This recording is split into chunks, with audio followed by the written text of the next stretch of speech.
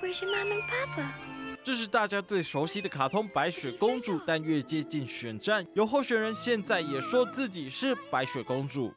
桃园市区大大的选举看板，引人注目的不是名字，也不是造型，反而是一旁大大的国小白雪公主字样，让路过选民看了超有记忆点。因为呢，我自己本身来自教育界，如果你跟小朋友说你是什么议员的话，他们可能不太能够理解，所以呢，家长就给我取了一个外号，叫做文化国小的这个白雪公主。本尊就是他，曾任桃园县议会连续七届议员的谢章文，而且他的绰号不止一个，除了白雪公主，还有樱桃小丸子、小甜甜等，这些称号全都是周边学校家长帮她取的。因为长期关心地方教育，所以连小朋友也这么叫她。叫白雪公主，安尼英雄不亲的啦。系啊系啊。但靠白雪公主打响名号的不只有她，竞选台北市议员的许淑华日前在竞选总部成立大会上，同样 cosplay 穿上白雪公主的道具服，仔细对比一看，还真的有些神似。十一月选战在即，候选人纷纷祭出奇招，打响自己名号，就是要让民众留下更深刻的印象。